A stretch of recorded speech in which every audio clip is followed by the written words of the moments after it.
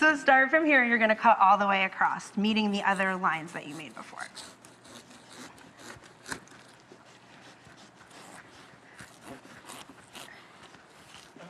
I'm going I know, I downhill. know. We'll even it out It at the ain't- end. I'm going uphill, it you're going downhill, it's good. It ain't happening. I know. We can just Whatever. We can, you did it, you did it, you did it, you did it. We can just step over to step two. Look, it's already done. Oh wait, I'm sorry. Also at the last step, you're gonna ball out your watermelon. Fine. We got that. So, Then you spend the rest of your morning removing I the watermelon. promise this is easier. with a with a I watermelon okay. baller. So now, remember, like we did the shark swim last year. Remember his teeth, his really fierce Yep. teeth. So we're gonna essentially do the same thing that we did last time. So we are going to cut here. You're gonna cut little triangles into the bottom. And just go crazy, you know, it's not something that's neat, it doesn't have to be neat, it's a, it's a porcupine, it's a hedgehog, we still haven't figured that out yet. It's, you know, we're, we're essentially starting out with the quills on the outsides, and you wanna go all the way around, Okay. and then you wanna get, uh, we can stop, we, we have a finished one over here, but I do wanna show you how to do the top ones. Okay. Same way, just go, Like there you this. go, yeah, you're just great. So you're just making little triangles. Yes. Little triangles. And then from the piece that we took off the top, Yeah. I cut off a little triangle and we're gonna use that for the nose later. Okay. So again, more things we're reserving, which I already have Okay. cut for us, down at the next station. So let's head over Excellent here. news. So now, okay, we've got all of our quills finished for the outside. That's pretty much the base. You can see our basket. Okay. I took our little stars and I cut them so that the back feet would have two little digits and the front would have three. oh. So I I take It's a cute little yes. rodent, whatever it is.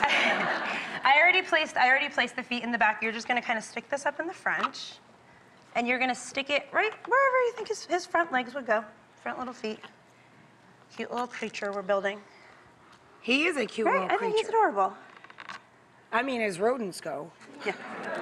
I, they are both rodents. I think we figured that out in our research of what is this creature we're making. Okay. So then when you're done with that, we're gonna take more toothpicks and we're just gonna build him little eyes. Build him little eyes. Yeah, Where, where are you putting your rodent eyes? Wherever you want. It- I mean, mm-hmm. give him beady little eyes. You'll see, you'll, you'll like what we use for his eyes. Make him look very creaturey. Give him a little nose while you're there. He sort of got a nose Yeah. where, where the, the vine thing was or Yeah. whatever. And then we are sticking our nose piece in that we cut off before. Oops. Uh, did it break?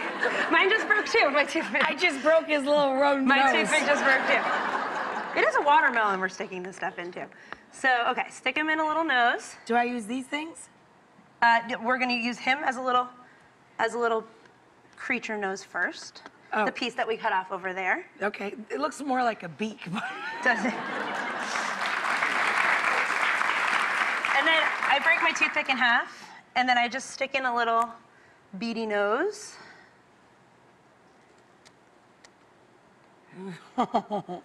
Mine looks like a rodent booger. No, no, no, no.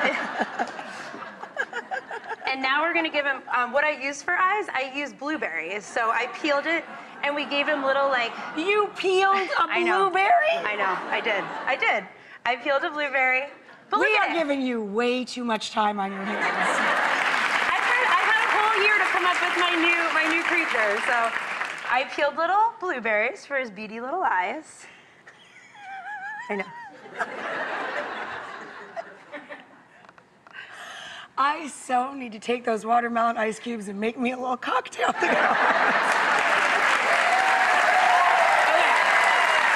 He's coming to life. Do you see him? Look at his face. He's, he's really coming to life. Okay, so you're gonna like this part. This part's fun. Okay. You're gonna do, we're, we're digging into our watermelon and we're, we're filling them up. All right. So go ahead. We're gonna get a little messier. I'm sorry. All right. Get them in there. I think I got the guts of a couple of watermelon rodents here. I don't think it'll all fit. It's all right. It's all right. No one ever said no to extra watermelon, right? Right. Too true. Fill them up as best as you can. And then, Whoa. Stay in there. what's what's the part of a porcupine or a hedgehog that's the most distinguishable is probably his quills, The right? quills. Yes. So we are going to go back to our toothpicks, and we are just gonna stick it in the whole top level of watermelon. Wow! And then that is how we are gonna make him That's how we're gonna make him come to life. Come to life. Our little in there. porcupine hedgehog. Okay.